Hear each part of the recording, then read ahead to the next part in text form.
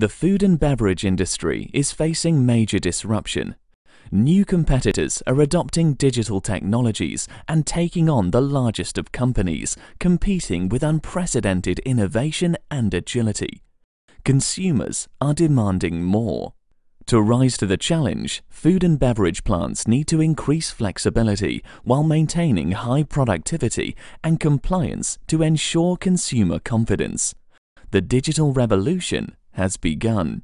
Food companies have to leverage digital tools, including the Internet of Things, the digital twin, the cloud, and analytics, to drive agility and consumer responsiveness. Using the IoT, digital food and beverage companies tap into data from a variety of sources and use analytics to gain deep consumer insights. Then, they quickly reformulate digital recipes to respond to trends. They leverage plant automation to capitalize on changing preferences. Digitalization allows food and beverage companies to get products that consumers want to market faster than the competition. But leading companies go beyond just internal agility and responsiveness.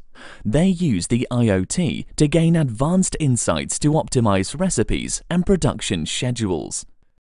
The digital plant acts as one with their supply chain to rapidly adjust to changing supply and demand. Digital food and beverage companies also turn to digitalization to drive higher productivity. They reduce downtime by monitoring equipment health and servicing equipment before it fails using the industrial IoT and predictive maintenance. They improve yields by identifying and correcting production issues in real time. They use the IoT and analytics to benchmark performance to identify improvement opportunities. They use the digital twin of their plant to simulate and validate the impact of changing equipment they quickly deploy new recipes, packaging and equipment using virtual commissioning. Finally, they identify opportunities to more accurately simulate production based on IoT data and a closed-loop digital twin to better reflect reality and improve optimization using real-world information. Digitalization helps food and beverage companies improve throughput, increase uptime, decrease cost, improve quality, and support high levels of traceability and compliance. It enables companies to raise the bar on innovation and agility without compromising productivity, cost, or quality.